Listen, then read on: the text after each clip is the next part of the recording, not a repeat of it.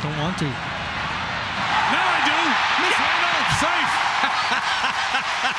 oh, Popped high in the air. Playable. Hosmer still coming as Hosmer. It's over his head. Astros No win. way. I don't even know what to say. I cannot believe that that just happened. Help or no help. Popped up.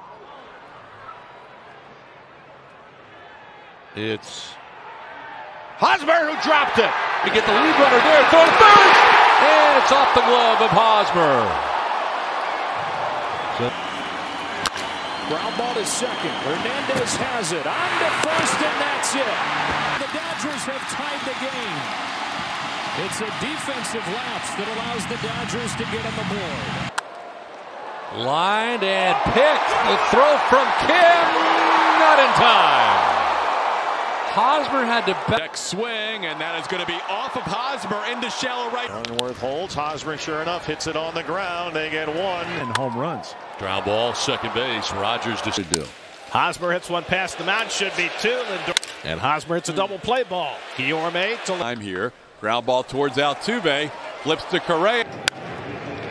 Left side, ball, nice play. There's one. Over to first. In time, a laser. This one on the ground, right side. Could be trouble, and the Rangers have their first baseman.